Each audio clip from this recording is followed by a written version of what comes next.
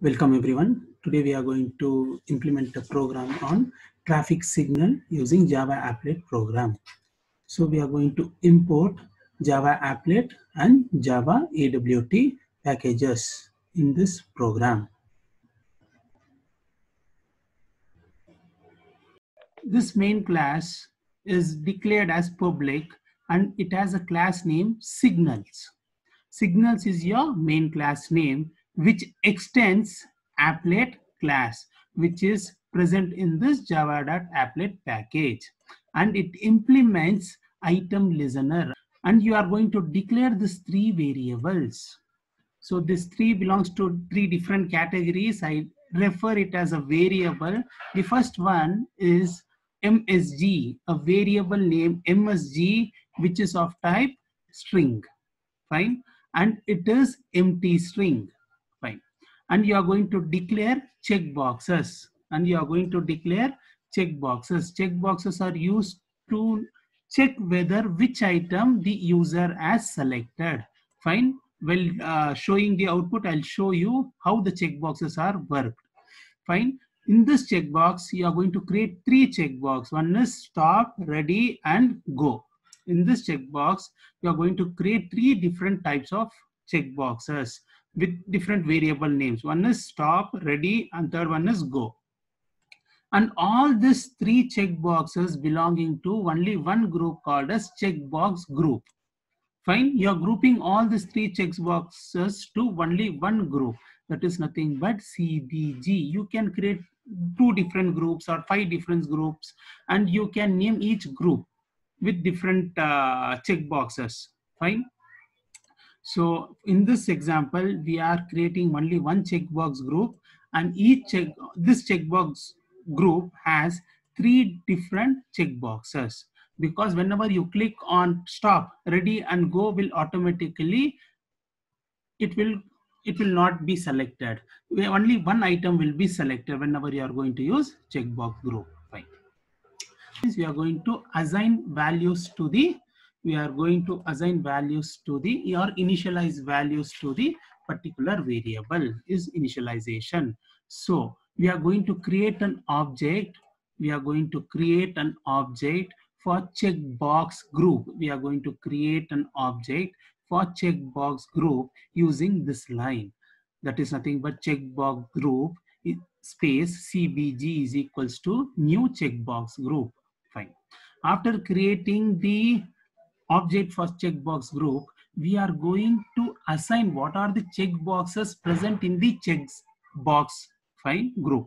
We are going to assign what are the different checkboxes present in the checkbox group. Fine. We have three checkbox to be present in the checkbox group. Fine. That is nothing but stop, ready, and go. That is been assigned. See, new checkbox.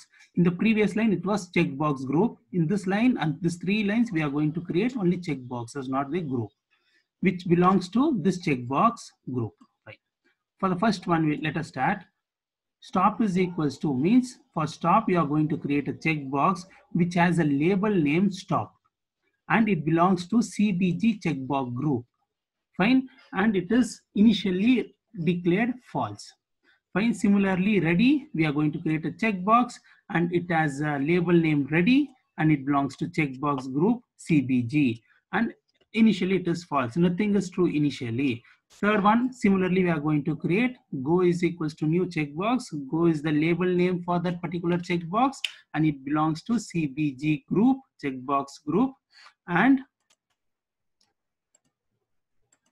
and it is given as false. I'll tell you why this is given or made as false. Now we are going to add all these check boxes to your applet window. Fine. We are going to add stop, ready, and go checkbox to your applet window. After adding, we are going to call the function of item listener. Fine. Items checkbox dot that is nothing but stop dot add item listener you are going to call the add item listener and you are going to give the parameter this function you are going to use this function because whenever some item or event is being involved in this particular checkbox. This stop function will be invoked. That is why we are going to use this function. Similarly, we are going to add item listener for this three stop, ready and go checkboxes. This is initialization of your applet program. Fine. After initializing, you are going to for paint. But before going for paint, we'll talk about repaint. This is this is a small function item state changed the name itself indicate the name itself indicate that whenever there is a change of any instances for example if you are uh, if you have a red color if you want to change it to blue color your complete applet window or part of your applet window will be changed. So whenever there is a change in the instance of your applet window then automatically your repaint will be called such that whatever the changes it has been made from previous version to the present version, it will automatically change. Fine. Your third function is paint function, which utilizes a class called graphic, and we are going to create an object of the type graphic G. Fine. So in this function, we are going to initialize value to the message. Initially message was initially message was empty string. Right? Initially message was empty string. Now what we are going to do, we are going to assign value to that empty string message. That is nothing but how we are going to assign the values using checkbox group dot that is cbg object name of checkbox group for our program dot get selected checkboxes dot get label. This is nothing but whenever you are selecting the particular checkbox, that label will value will be stored in this MSG. Fine. So let us see what are the different label values we have for checkboxes. This is stop, ready, and go. These are the three labels. But whenever you click on stop, stop label will be stored in message. After storing in message, the next step is you are going to draw three vowels. You are going to draw three vowels to display the signal lights. Fine, using the graphic object G. Fine, using the graphic object G dot draw oval. In this particular location of your applet window. And again, you are going to draw oval in this particular location of your applet window in this draw oval. Three ovals are being drawn.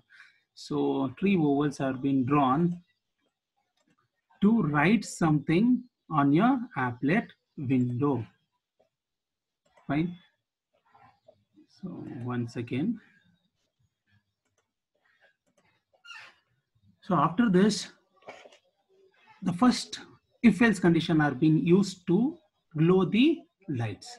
So if message dot equals stop, if message dot equals stop. This is the condition. What is the value of message? Initially it is null but whenever you are clicking on checkboxes the checkbox value label will be stored. What is the checkbox label? Stop. If your label is stop is stored in msg msg is stop. Stop dot equals stop means it will tell that you are going to set color as red because stop color is always red and you are going to fill the oval which oval you are going to fill? You are going to fill the first oval. Fine. You can see the same uh, location of draw oval. You are going to fill that particular draw oval. Fine. With your red color. Fine. If the message is not stop, it is ready. If you are clicking on ready, what you are going to do? Else if condition you are going to use. Message is nothing but now ready. Ready dot equals to ready means set g dot set color you are going to set color. After setting the color you are going to this location you are going to this location and you are going to fill the oval with yellow color. So at last there is only if condition there is no if else condition. If this both are not the checkbox cases then you are going for the third case. Third case is nothing but your go. So whenever you select go the third case, it will automatically, a default case, it will come here, it will set color green. And in this particular location, you can check in this third oval, it will fill the color with green. So this is all about your program. Fine. So I'll execute the program. You can see the program, how it is executed. Fine. So Java C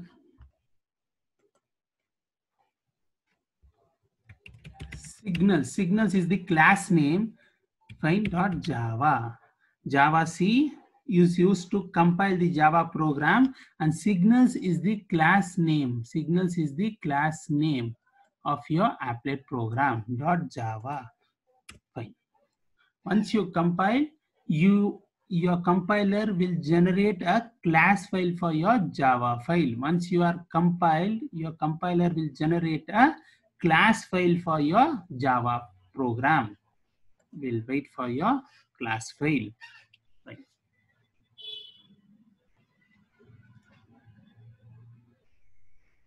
Yes, we don't have any errors. We got compiled and class file is generated.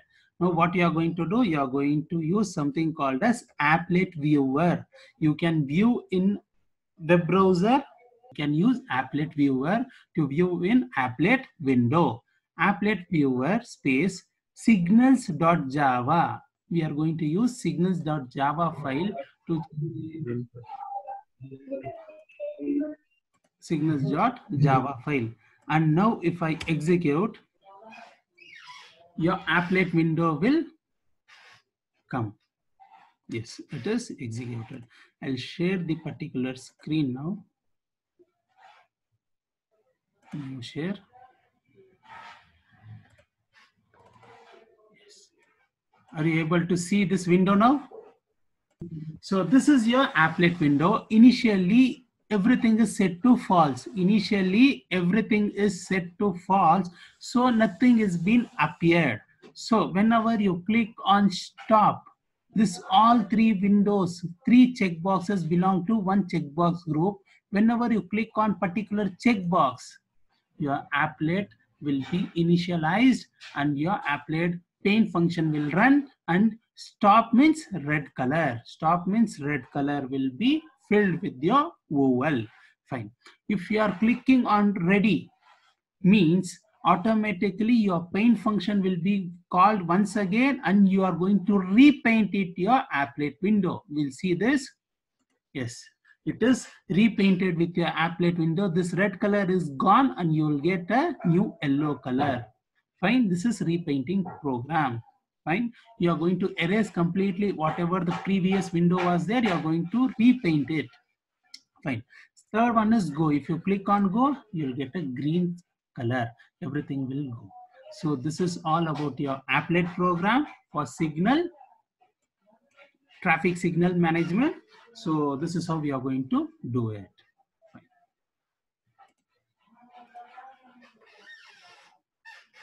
Fine.